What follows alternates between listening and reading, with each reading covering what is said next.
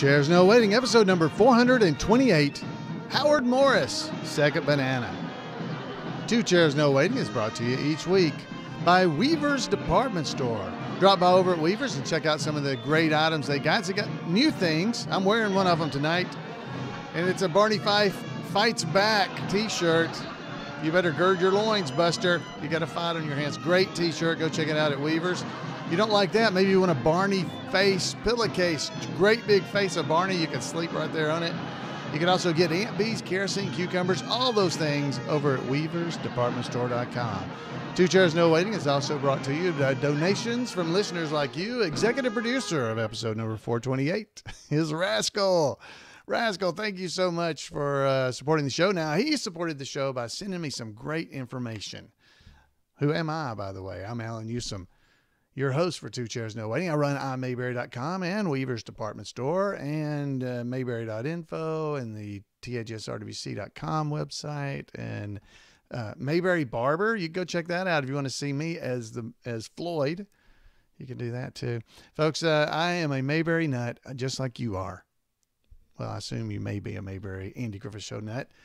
Uh, I wouldn't even call us nuts. We're fans. We love it. So it was fun for me this week. Uh, well, recently anyway. Rich, uh, who I'm calling Rascal, he's in the chat room with us usually, is Rascal. He is the designer of the artwork you see uh, for the Two Chairs No Waiting podcast, the Floyd the Barber and the the lettering and everything. He he drew that. Anyway, so Rich sent me a thing the other day uh, talking about an article he had run across. Now I don't know how to say this but it's on a website. I'll show I'll show folks in the video. You can see it. It's called T R A L F A Z. I don't know how trails trails trail trail labs labs uh, trail labs. I don't know what that is, but it's about cartoons and Trelazian fun. Trelaz, I don't know how to say it. I barely speak regular English. Anyway, it was a great article he found out uh, uh, found me and sent to me. Uh, and you can go see it at the, I'll have a link on the show notes for this website. It's T R A L F A Z dot blogspot dot com. And you can check this out. It's a great story. I'm not going to read the whole thing to you about it, uh, but it's about Howard Morris, our very own Ernest T. Bass. Ernest T. Uh, he he, uh, and it's written. This is from back in 1955. These articles, there's actually two articles. Uh, I'm going to try to read them both for you. Uh, one of them is called TV Star Achieves Note as the Little One. And the other article we're going to read is A Bonanza for Second Bananas. Now, that's where this uh, title of the podcast came from Howard Morris, Second Banana. So, I hope you're going to enjoy this. I know I am going to enjoy reading them to you. It's a, it, like I said, these are from this first one is TV Star Achieves Note as Little One is from April the 13th, 1955. Okay, so this is way before he did Ernest T. Bass. But oh, I should tell you, Howard Morris is Ernest T. Bass. Just in case you don't know who Howard Morris is, he is Ernest T. Bass. That's who he is. He uh, he appeared on uh, many other things, and some of that's what we're about to hear about. But Ernest T. Bass himself, Howard Morris, is who we're going to be talking about. So let's head over there to the website and read these articles. This one is from uh, United Press staff correspondent Jack Gaver, G A V E R. Hope I'm saying it right, but this uh, he had filed this uh, long, long ago in 1955. So let's go check this out.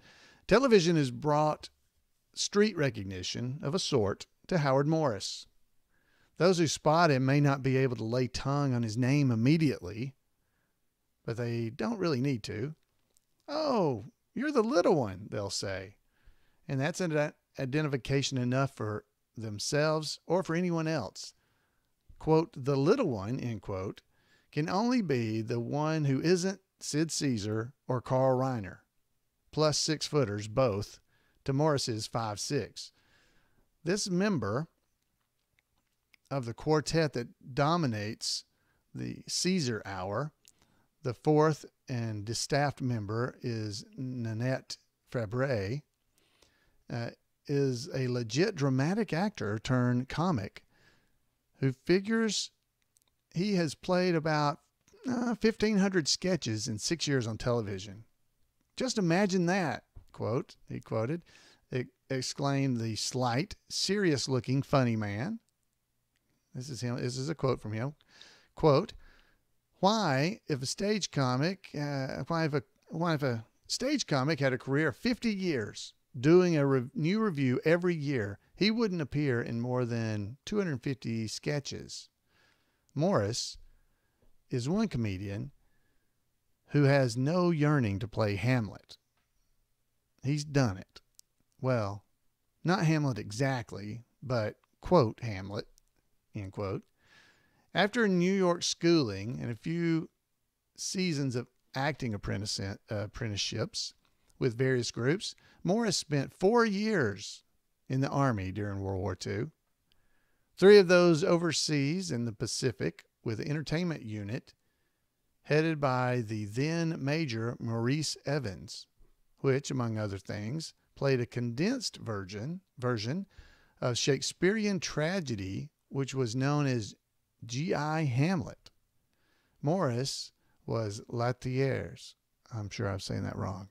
I'll use uh, Shakespearean scholars. Uh, anyway, back to the story. He was back in the role when a, when a civilian version was presented in Broadway or on Broadway in 1946. Quote, I was the first sergeant in Evans' unit, end quote, uh, Morris recalled. Continue the quote. And do you know who was one of my men? Carl Reiner, end quote. Reiner has been with Caesar longer on an uninterrupted basis, but Morris was with him first. There's another quote from Howard Morris. That was when Sid did the very first television work, Morris explained. When Max Lobman, Lobman did the old Admiral Review show for a season more than six years ago. I was around doing all sorts of bits for a while. Out of that came Max's Your Show of Shows program for NBC, starring Sid and Imogene Coca. But by that time, I had a role in a stage musical, Gentlemen Prefer Blondes, where I stayed for a couple of seasons. When I joined your show of shows in the fall of 1951, there was Carl again, end quote. But for all the benefits, Morris considers three one hour shows a month about all he or any other actor can take. Quote from him again quote, When that fourth idle week rolls around, he said, I try to forget about television for seven days and just stay home and relax, or maybe collapse is a better word. That's the end of that story. Uh, this uh, and there's photos and stuff along with this. So if you go and look at the links I'm going to provide, you'll be able to see it. But that was uh, again that was from April 3rd. April 13th, 1955. Now we're going to hear another story. This is uh, a story from the New York Herald Tribune from December the 25th, 1955. And this is what our podcast is named for. It says, A bonanza for second bananas. By the way, today is Memorial Day in the United States. So that was another reason Howard Morris was one of our veterans from the Andy Griffith Show. So thank him for his service. A bonanza for second bananas. It is inconceivable that an actor with stardom at his fingertips would reject it. But such a thespian, such thespians do exist, and Howard Morris may be counted among them. Morris is a diminutive pixie who, together with sidekick Carl Reiner, helped Sid Caesar dispense comedy on NBC's Caesar Hour, Caesar's Hour.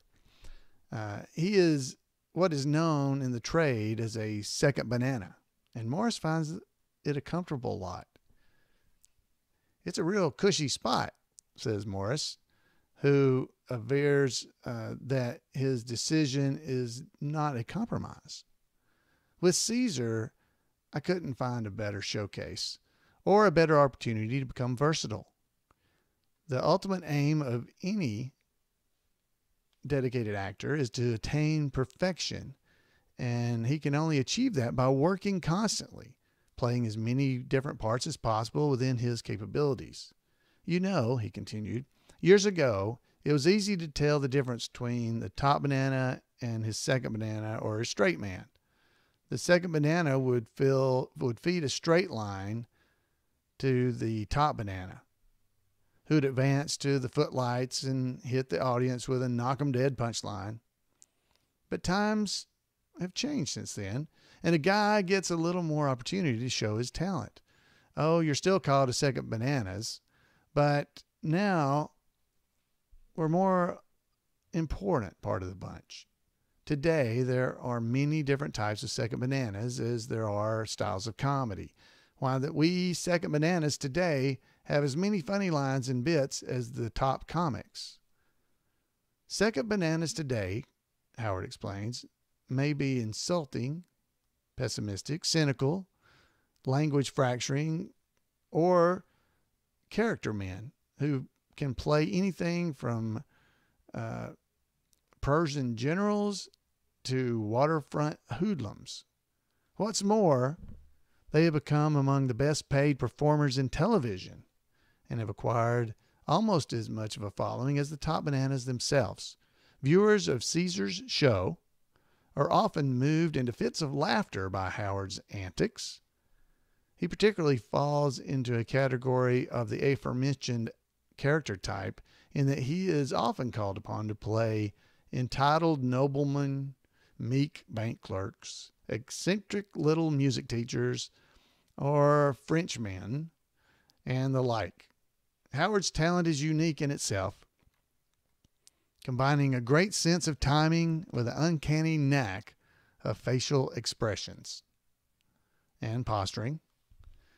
He can sway an audience into symphony, sympathy for a little man, squeeze every drop of humor out of a gag situation, yet subtly underscore a situation by merely letting the others take the fore. He can take up the slack when the line of a funny funny business wears thin in spots. To Caesar, Howard's a funny man's funny man. Hard to imagine this little guy was once a Shakespearean actor. His heart is in television, though much as he enjoyed doing the bard.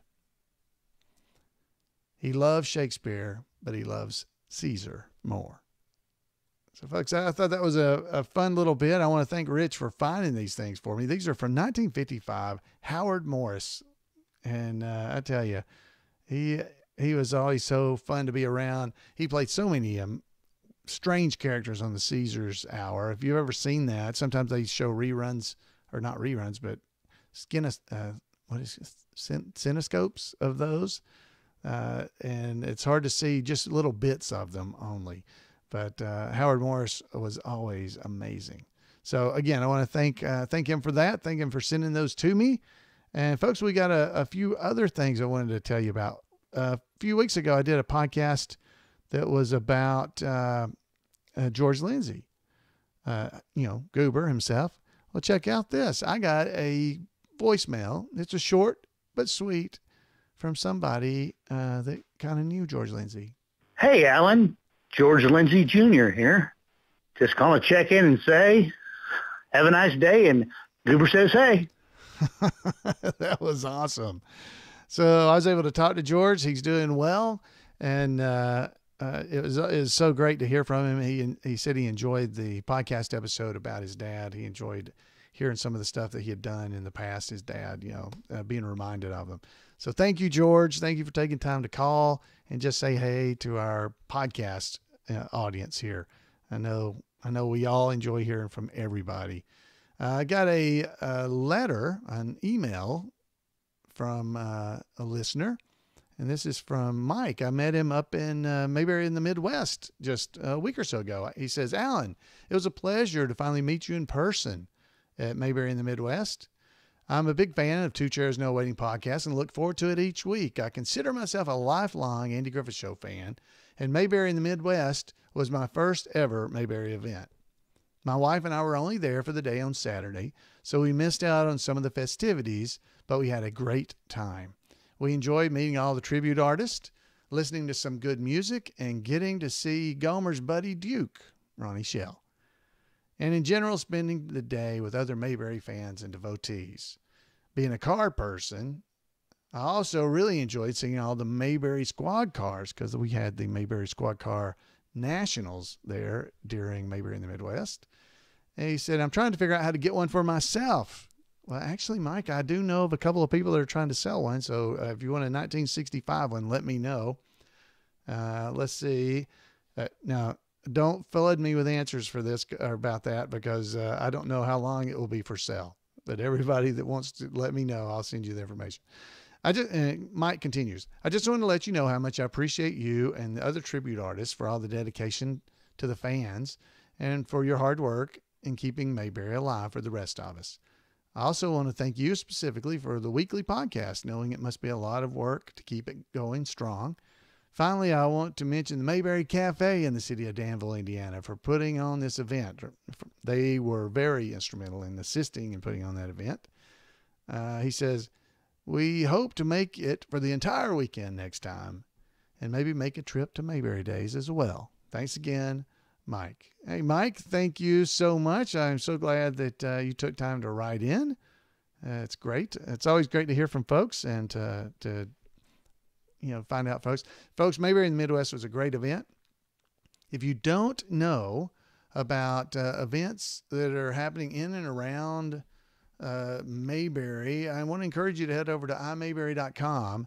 And when you get there, go to the event calendar. The event calendar at imayberry.com is the same information contained in the eBullet. So when you go there, you'll be able to see the Floyd's Barbershop Bulletin Board, Mayberry event calendar of all the upcoming Mayberry events. Do not miss out, folks. If you have never been to a Mayberry event, I want to encourage you to head over and check out imayberry.com, go to the event calendar and check it out. Uh, this next weekend, the 3rd of June, I'm going to be over in Valley Head, Alabama for a first time event. It's a very small town. They got some great t shirts that say, uh, it says, what does it say? Just like Mayberry without all the hustle and bustle. so I'm looking forward to this event. If you're in the Valley Head, Alabama area next weekend, as I record this, it'll be the 3rd of June, uh, uh, 2017. Head over and check it out. If if you're listening to this after that, go to the event calendar and look for other events that you can go and attend. Definitely want to encourage that. Another uh, email that I got was from Bill. And Bill said, Alan, uh, this is so much fun. Thanks for all you do, talking about the podcast. I'm just cracking up, waiting for Mondays because he comes to the live shows.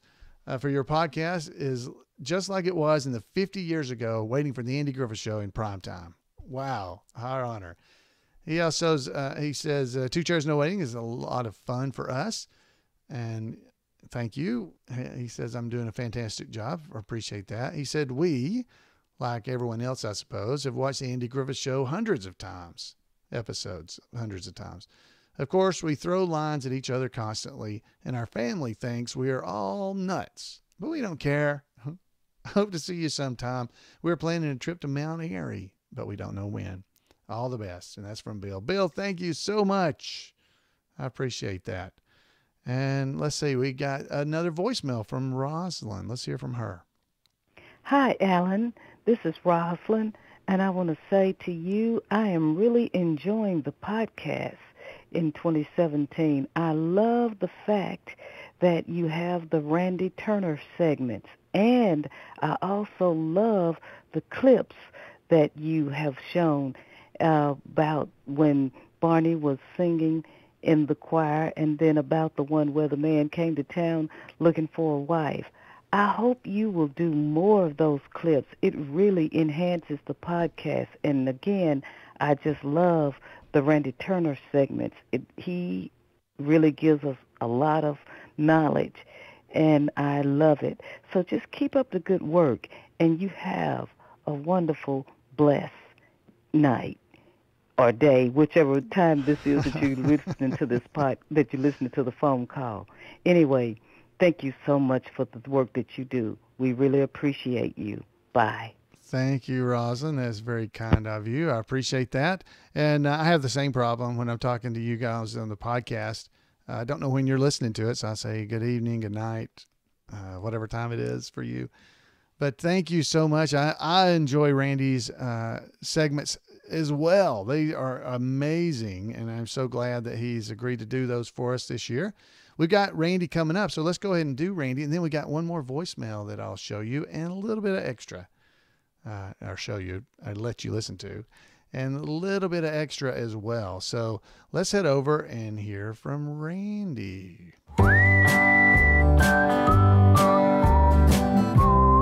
Welcome to This Week in Mayberry History, a report by special correspondent Randy Turner of the Gomer and Goober Pyle Comic Book Literary Guild of the Mayberry Historical Society. Since 1949, the Academy of Television Arts and Sciences has annually awarded the Primetime Emmy Award, the highest honor bestowed for excellence in primetime American television. 54 years ago this week, on May the 26th, 1963, Don Knotts won his third Emmy and became the first male actor to win three times in a row for playing the same character in the same series, a record that was later tied but remained unbroken for 25 years. Jane Wyatt was the first to win three Emmys in a row for the same series for playing Margaret Anderson in Father Knows Best. Don won the Emmy for Outstanding Performance in a Supporting Role every one of the first three seasons of The Andy Griffith Show. His third win in 1963 made him the first male actor to accomplish three wins in a row as the same character in the same series. Other actors did tie Don's record. In the 1960s, Don Adams for Get Smart, Carroll O'Connor in the 70s for All in the Family, Michael J. Fox in the 80s for Family Ties, Jeremy Pivens for Entourage from 2006 to 2008, and in a role that could not be more diametrically opposed to Barney Fife, Bryan Cranston won three times in a row as Walter White in Breaking Bad between 2008 and 2010. It was John Larroquette who not only tied Don's record, but finally broke it winning four times in a row as a supporting actor in Night Court between 1985 and 88. All that being said, Don Knotts as Barney Fife was the first. But that is not the only Emmy record Don attained, and his second Emmy record is one which still stands. During the sixth season, Don won another Emmy for the episode The Return of Barney Fife, giving him yet another record at that time. No person had ever won four Emmys for playing the same character in the same series. During the seventh season, Don won yet again for a guest starring in Barney Comes to Mayberry, extending his record to five Emmy Awards for playing the same character in the same series, the most awards at that time for an actor or an actress. The record of five wins for the same character in the same series was held by Don Knotts exclusively until 1995 when Candice Bergen won her fifth Emmy for her show Murphy Brown. In 2016, Julia Louise Dreyfus won her fifth Emmy for her work in Veep, tying the records held by Don and Candice Bergen. By the way, Julia also broke the record of John Larroquette as her five Veep Emmys were all won in a row. But while Don Knotts as Barney Fife was not only the first male actor to win three times in a row as the same character, he is the only male actor to win five Emmys for playing the same character in the same series. This fact is even more impressive considering that until 1966, the supporting character category in which Don won was not gender specific, and until 1972 was not genre specific, meaning that Don was competing with comedic actresses and dramatic actors and actresses when he won his Emmys. By the way, in 1967, when Don won his fifth Emmy for The Andy Griffith Show, Frances Bavier also won a Primetime Emmy for supporting actress in a comedy series. She was the only other actor on the show to ever be nominated. Incredibly, Andy Griffith was never nominated, likely because he had made the decision early on to play the bedrock straight man surrounded by colorful characters such as Barney. That's it for this week. As always, thanks for listening, and remember to take Andy's advice and go out there and act like somebody. All right, folks. I hope you enjoyed that. I always enjoy Randy's uh, reports. He does a daily report as well. So if you'd like to, uh, today in Mayberry history, if you'd like to hear that, you can sign up for it if you go to Turner's Grade at gmail.com and email him. He will start emailing you those reports. So thanks again. Wow, Don Knotts, all those Emmy awards. That's amazing, amazing stuff. All right, so folks, I have one more voicemail for us and I'm going to go ahead and play this one. This is from Paul Mulick, and he is discussing uh, the Return to Mayberry episode we did a while back. We I, I, read some of this to you a week or so ago, but Paul took time to voicemail me, so I wanted to make sure you hear this. And let's go. Hey, Alan, it's Paul Mulick calling in again from Joplin, Missouri. Uh, you were talking in a recent podcast about the alternate ending for Return to Mayberry. They actually did film that ending. Uh, I've sent you a link to a uh, YouTube video that has a little brief snippet of it uh, with Gomer singing a solo with the choir at the wedding. Um, but they obviously cut it out and didn't include it in the final version. Also, uh, the movie's running gag has uh, Howard Sprague. Uh, keep, he keeps changing the color of his hair trying to impress a girl named Rose, and she was in that same scene too, uh, the one with Gomer singing the solo. Uh, but that was completely cut out too, so we never do actually see Rose. I don't think uh, in the finished version. Uh, just thought some folks might be interested in that. Ten four. All right. So, Paul, thanks for doing that. Now, the report he uh, told us about is on YouTube, and I put a link in our show notes last episode and this episode for that same report.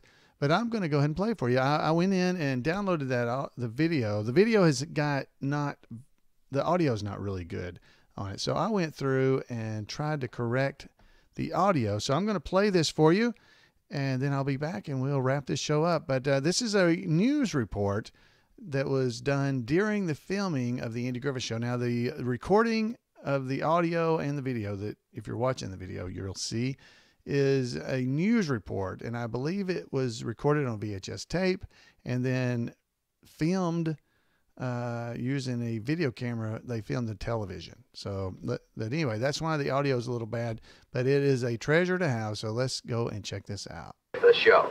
Now, the last time we saw Andy, he had married his longtime sweetheart, Helen Crump, and moved away. But this Sunday on NBC, Andy and the gang come back to Mayberry in a made-for-TV movie called Return to Mayberry. Once again, the occasion is a wedding, but this time, the lucky groom is none other than Barney Fife.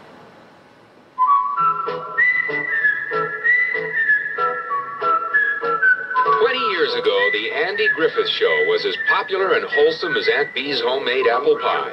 And today, thousands of dedicated fans are still caught in the Mayberry time warp, watching rerun after rerun.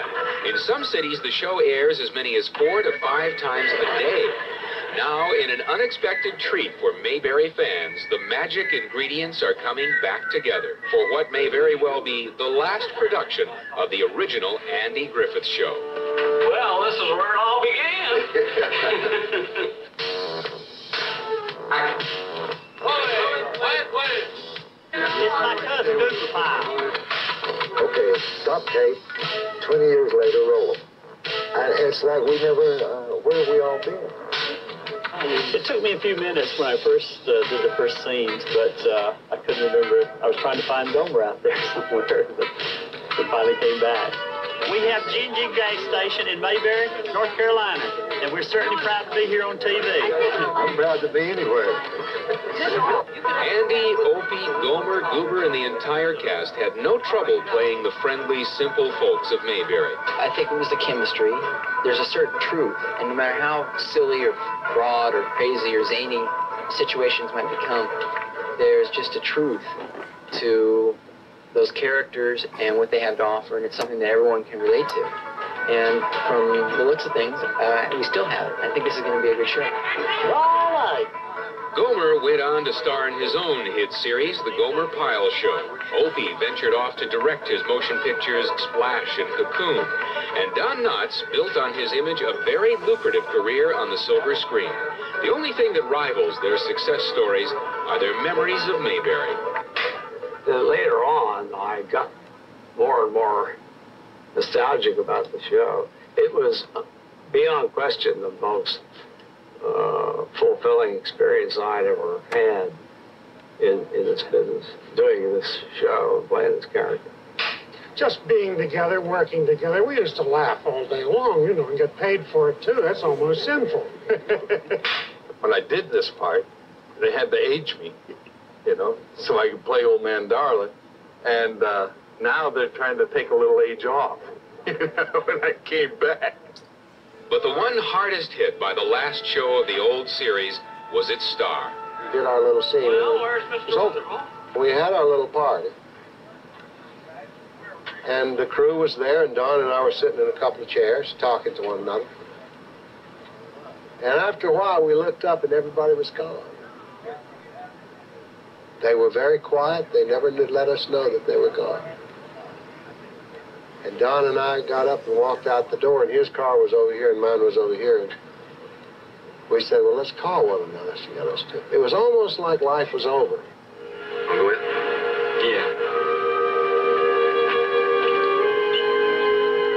You part for 20 years, a lot of things can change, even in Mayberry. In this reunion show, the location for the set has changed to the charming village of Los Olivos, California. Opie has decided to raise a family and become editor of the Mayberry newspaper. Gomer becomes a great singer, and Andy has gone off to the big city. And who decides to get married? Barney. He's running for town sheriff. Could this be the same clumsy Barney Fife we all knew? It's his wedding that brings the entire Mayberry family back together.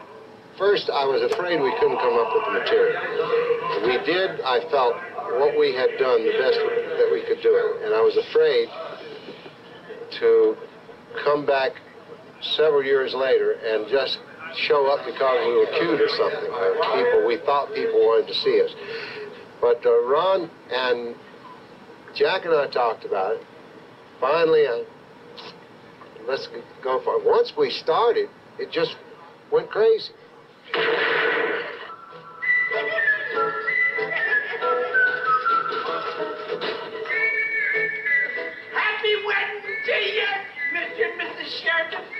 Mayberry's small town magic, its warm morning smiles, and its open door have charmed the hearts of millions. For them, watching this return will be like attending a family reunion. We were never trying to do what has happened to this show. What we did, we created somehow a timeless little place. It was one of ours. Oh, Charlie. Cut it, my friend.